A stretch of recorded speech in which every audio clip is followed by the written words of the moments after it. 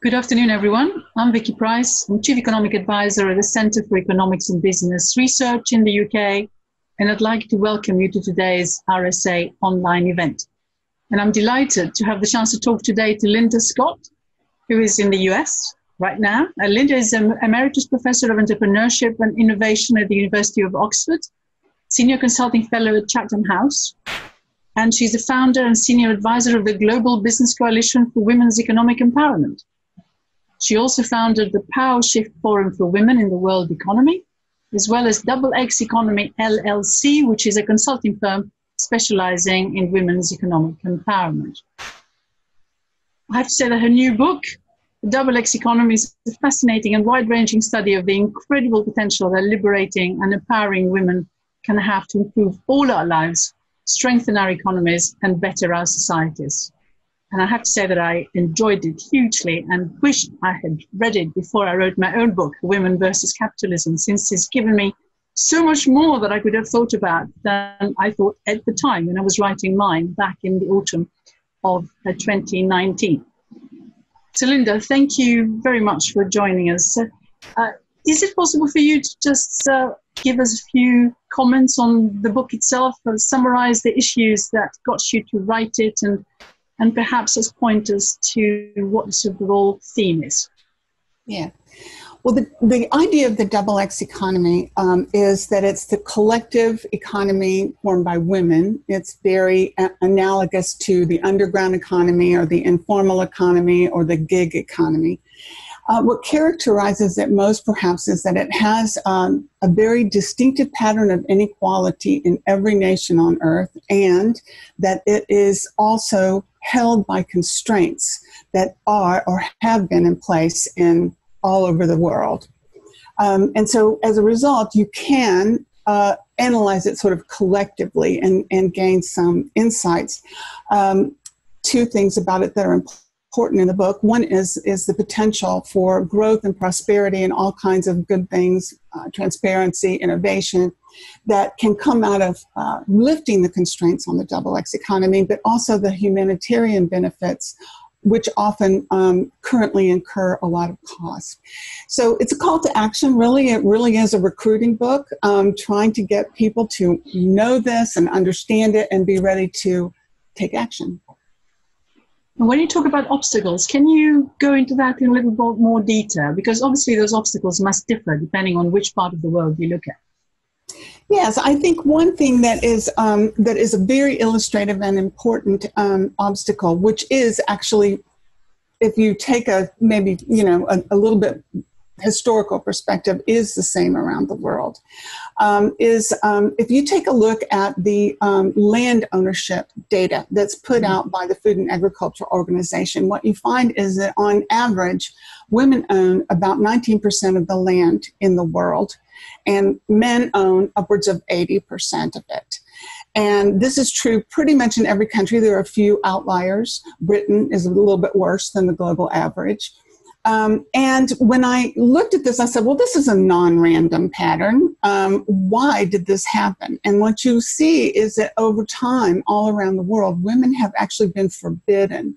Uh, every case that I looked at, okay, I'm sure there are some exceptions somewhere, but have been forbidden usually by law from earning from owning land and that this rolls up into over time because it was the main store of wealth throughout history rolls up into men controlling capital in the world today. And that, of course, has huge follow on effects.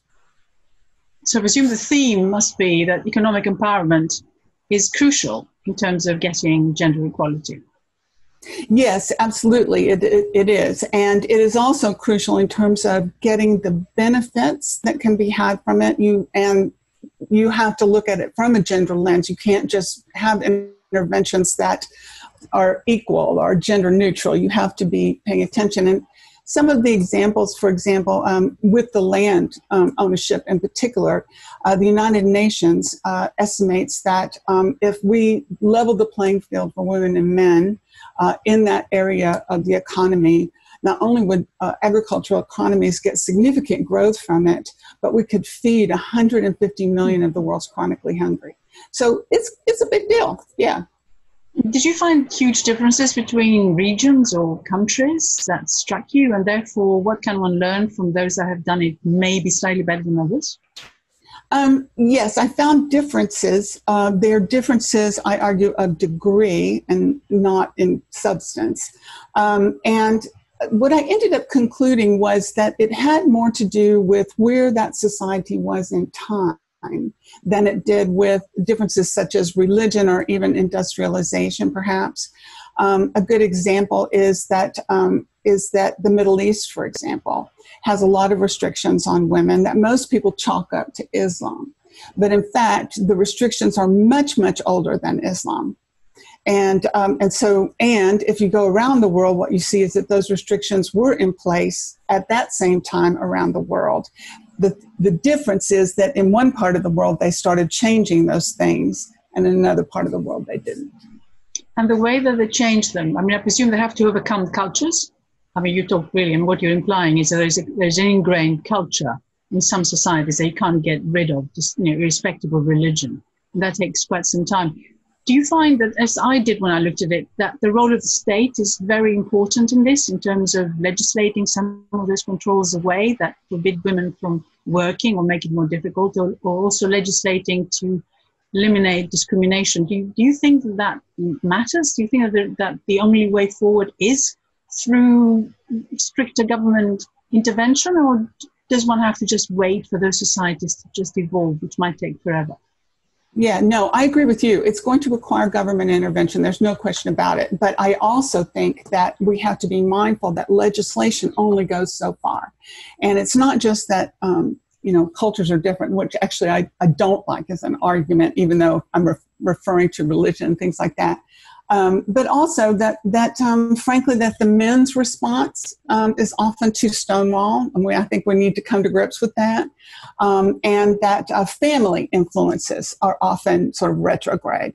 And so those things happen behind the scenes of legislation a lot of the time. So i think to be more realistic we have to think more much more broadly but when you look at the developed world, um, it is legislation that's helped hugely. So non-discrimination legislation, for example, in places like the States, even though you know, we're still lagging behind in terms of pay gaps and so on. Uh, so equal opportunity acts and, and so on that we've seen all, all across the, the Western world. Uh, they haven't had quite the impact we'd want them to. In other words, we still don't have gender equality anywhere. Um, but nevertheless, they've been important. You, you're not saying that those are not significant as such. Right. No, definitely not. Uh, and, and it wouldn't fit with the data if I did.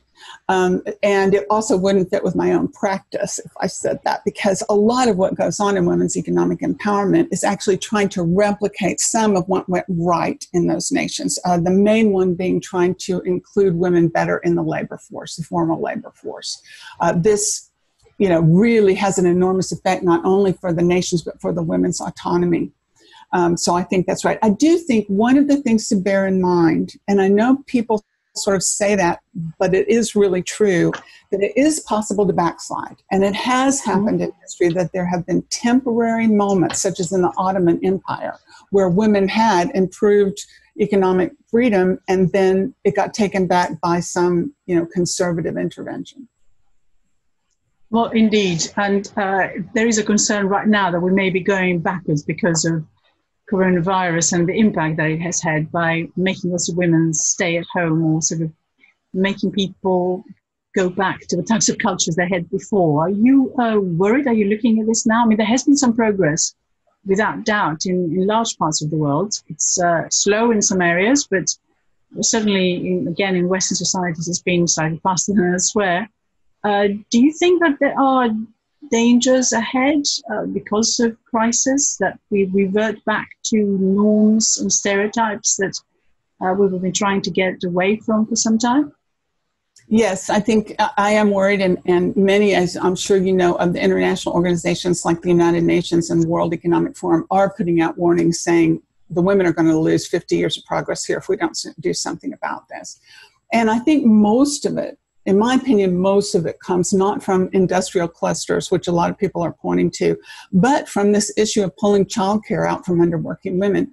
And I think it shows conclusively that economists who say, oh, well, you know, or you know, management people who say, "Oh, well, women make this choice to go home, and so it's their choice, so it doesn't matter," you know, um, is that it isn't a choice in this case, and um, it's really um, sort of involuntary uh, going this going back home, and I think it illustrates that, and also that we can no longer treat women as a frivolous part of the economy. We're essential, and um, you can't, you know, you need to look at childcare as infrastructure, basically. Indeed, I mean there are quite a lot of people who think that childcare should be free, and in fact, it's practically free from very young age in the Nordic societies. In other words, in Northern Europe, uh, like in Scandinavian countries, where indeed gender equality seems to be slightly more advanced than anywhere else. So it has been recommended in quite a lot of places, and and it seems to uh, lead to quite an improvement in um, labour force participation than seniority. So, so is, are you suggesting that as well in terms of you know free childcare for everyone, or or yeah. are you more careful in that? Yeah. Yes, I think that um, people make a lot of noise about maternity leave, but really the only provision of that sort for, for women, for mothers that works, that is known to work, is the affordable child care, high quality, low, you know, cost, um, universal child care. This is all we know that works. And it works quite well. Um, I think one of the things that worries me about it is people don't want to do that because I think there's a lot of a lot of the world leaders still think of it as a frivolous thing that we give to women who should be at home anyway, right? And and don't really come to grips with the circumstances in the here and now. Um, some people want to do a child care credit, which to me is like handing somebody half a bus ticket and telling them they need to build their own public transport system. I mean, that's just absurd. And some people only want it to um, uh, go to low income families. And I think that's only going to contribute to greater inequality. So I would really prefer to see it as a something akin to the roads. That's very interesting because it's the same um, arguments that are going on right now about uh, what is now called universal basic income. So this idea that everyone receives a certain amount and uh, they can do what they like with it, but at least it gives them some sort of independence and guarantee that they're not going to fall into poverty. Of course, women, as we know, are much more likely to fall into poverty than men because they generally don't earn very much. They work in uncertain environments uh, and they're the first to lose their jobs, as we've been discussing also with COVID right now. Um, and there are lots of suggestions that you know it should actually not be universal, but should be uh, means tested. The moment you start doing that, you kill the idea of uh, you know how it can work, and and you you make it so conditional that in the end, a little bit like what you were saying, uh, it just loses the purpose that it has. But for women, it must be still very important to be receiving something, given that so many women do work which is unpaid at present and which is not valued at all in the community and it doesn't get calculated in GDP, in the output of the economy. So, are you in favor at all of a UBI of that sort, um, universal basic income? Um, I am, in general, in favor of universal basic income. I am also, in particular, in favor of it for stay at home mothers.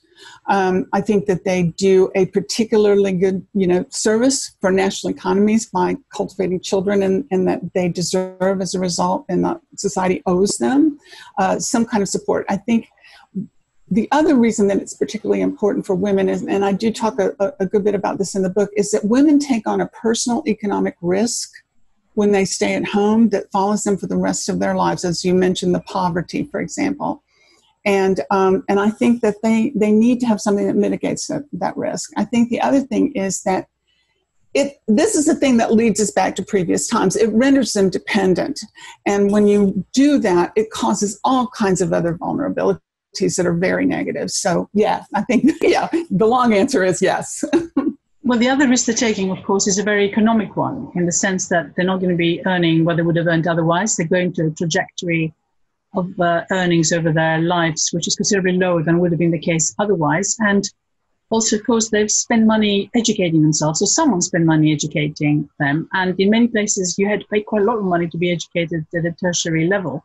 And of course, you, the loss you have, the opportunity cost is enormous. The investment is lost. So there's an extra reason. At least that, that's what I, I, I was looking at the economics of it, and clearly decided that it makes absolutely no sense. It's almost not worth for the women who end up uh, at home afterwards going and getting properly educated. So there is a need to to compensate them for that for a bit, I'm guessing, and uh, and then of course encourage them to go back to work and and in fact get a return for their investment. Do you look at it that way?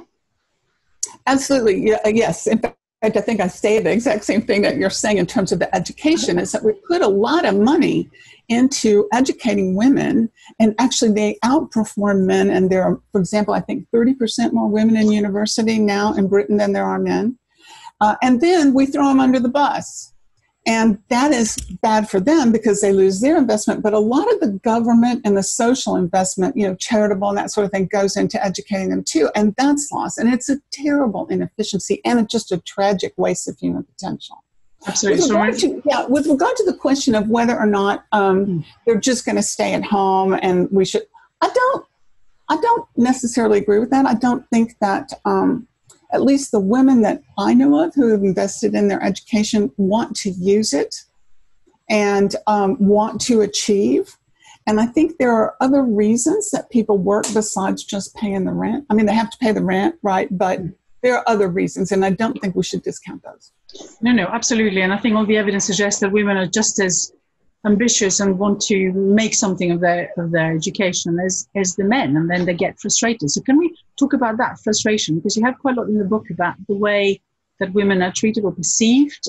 Quite a nice section on entrepreneurs and how women entrepreneurs are often ignored uh, or at least they're not taken seriously in what they say. Can you elaborate on that? Because obviously that's another obstacle for their advancement Yes, yes. I, it's unbelievable to me um, that I think in Britain they get 9% of all available investment money. I mean, there's just no excuse for that. But I think that, that this is, again, one of those things that comes out of the control of capital. To the extent that the men control vastly, you know, more capital. It means, first of all, that they have in the past at least owned the businesses that women are employed by, and they also are, are controlling investment uh, money. And uh, I think I give an example in there about things like the venture capital versus the angel capital. Mm. You see, yeah, some difference there. Um, but the the other thing is that the financial sector is so overwhelmingly dominated by males and has always been um, that yeah I think it's really toxic. Uh, how, I'm yeah. so sorry. Yes, uh, did, uh, how can you change that? I mean, the the interesting thing is not just do they dominated the men uh, in terms of the ownership of it, if you like, or the running of organizations. But um, they also perceive anyone who comes in from the outside perhaps is equally, uh, you know, um, competent uh, with ideas, but happens to be a woman. Uh, not as seriously as they would have done if the same person, if sorry, they said the same thing, but it was actually a man who was saying it. So you have some examples of that. Can you, can you explain why this happens? Yeah, right. So, for example, venture capital. This is the venture capitalists have been studied, I think, the most uh, in terms of the way they treat and perceive um, the various people who pitch to them. And it's just been shown over and over again that they will look at the same person in the same pitch, and they will think the man is great, and they think the woman is not.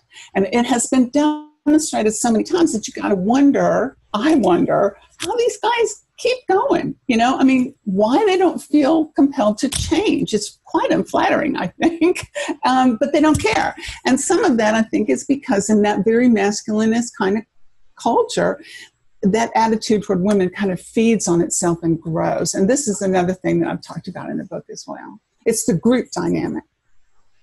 And is it only that, or is it also a certain laziness? So anyone from outside, and that's what also affects diversity. We're in the middle of of uh, the whole diversity issue being a very hot topic. Um, is it that uh, decisions are made in a, as I said before, lazy way? You just hire someone who's more like you, or you talk to somebody who's more like you, and you therefore think they'll think like you uh, you don't want to take risks. Do you think there's an element of that? Yes, I do. And I, I recently saw a study that illustrates that really well. Um, that it was um, funding, or, or, yeah, funding in um, incubators.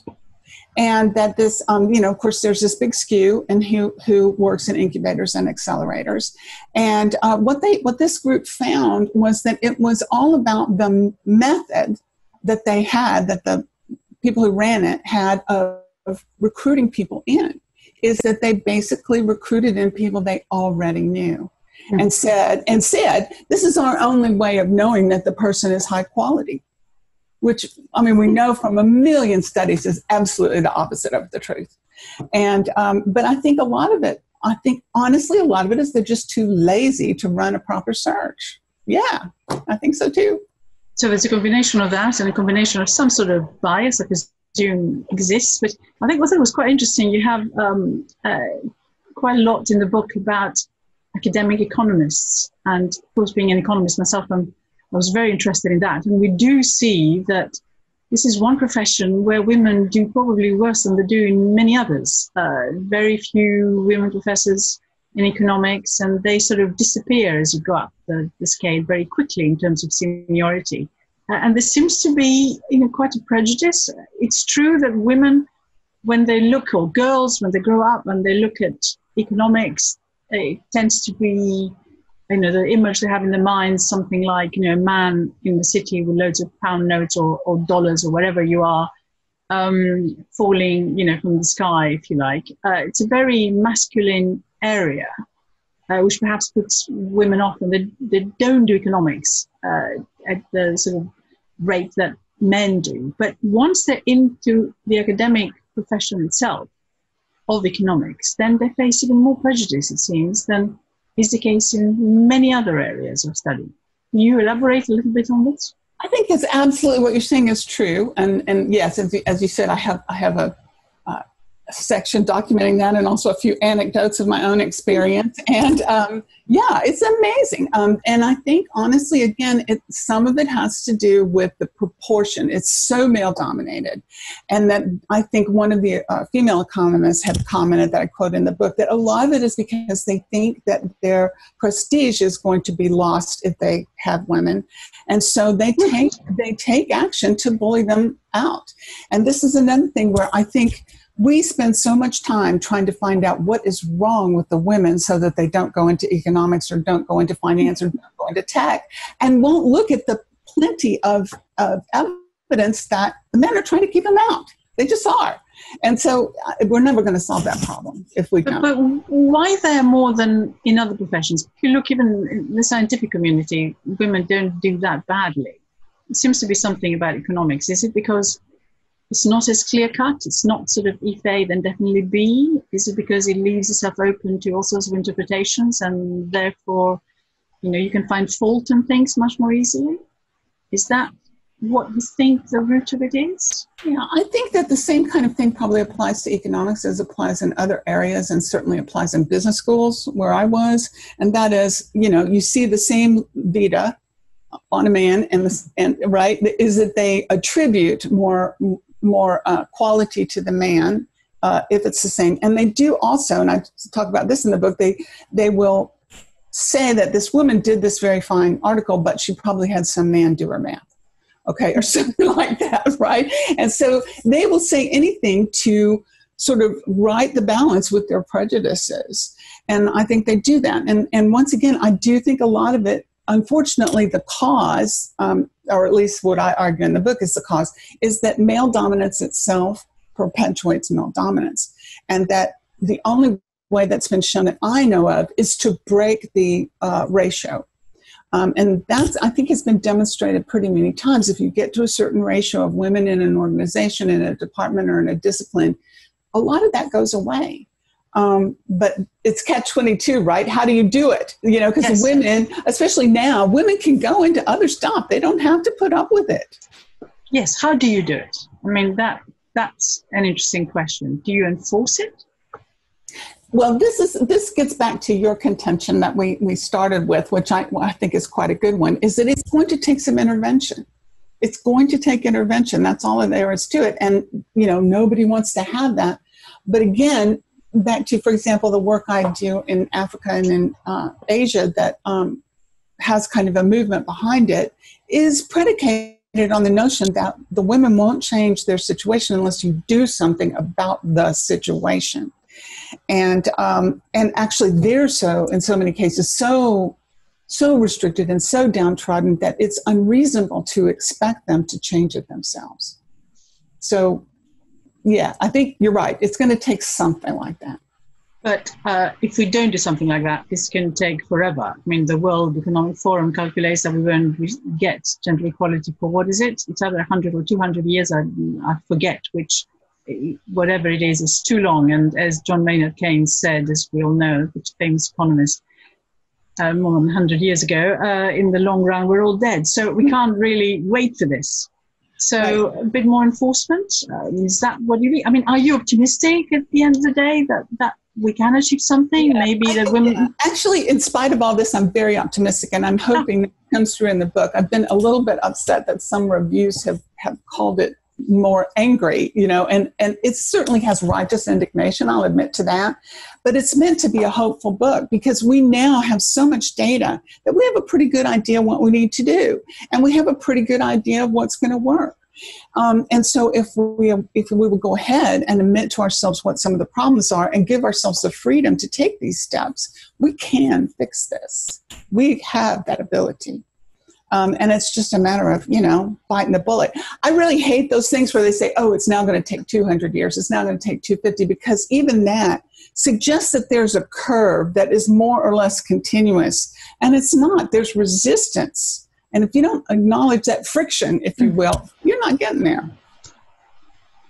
Okay, so we need to acknowledge the friction, and we will get there if we do acknowledge it. And everyone understands that we need to do something for the sake of the economy, for the sake of individuals, of course, and because such a waste of resource, I would guess, as well. But um, I think we've ended up more or less in an optimistic note um, if I'm not mistaken. So yeah, I think there's good reason to hope, and a lot of the international institutions are bought onto this. You know, that's never happened in history before. Yeah, it's good. Oh well, this is great. I think we could go on all day, but I'm afraid that's all we've got time for. So, Linda, thank you very much for taking the time to talk to me and giving such a fascinating overview of how we can unlock the incredible potential held by women across the world. And I'm very glad we didn't just talk about the UK and the US, but we actually looked across the world, and uh, there's so much that can be unleashed uh, all around us if we do this right, and if the governments perhaps intervene in the right way. Um, to those of you watching, I highly recommend Linda's book, The Double X Economy. Makes a fantastically rigorous and passionate, as you can hear anyway, case for women's empowerment and gender equality, and for very good reason too. In the meantime, do keep up with the RSA's channels for updates on further conversations and research insights and information also on how to get involved in the global network of fellows of the RSA. So, uh, for me, it's been a fantastic conversation. So, it's thank you again. Yeah. Thank you, Linda. Uh, and thank you all, of course, for watching too. Thank you very much.